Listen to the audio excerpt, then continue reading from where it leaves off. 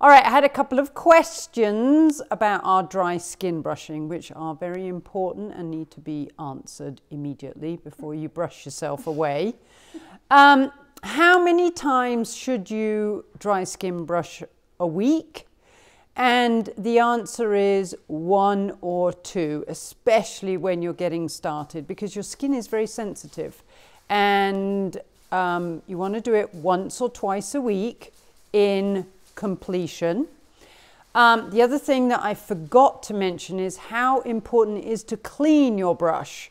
So imagine all that dead skin accumulating in the brush and um, you need to clean it with soap and water and then for the for the best energy you should put the, the, the skin brush outside in the sun to dry because then the next time you actually brush your skin you will pick up energy from the sun.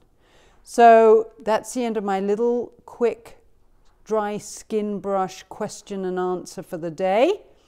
Uh, join me in my next video when we are going to talk about grounding. Stop.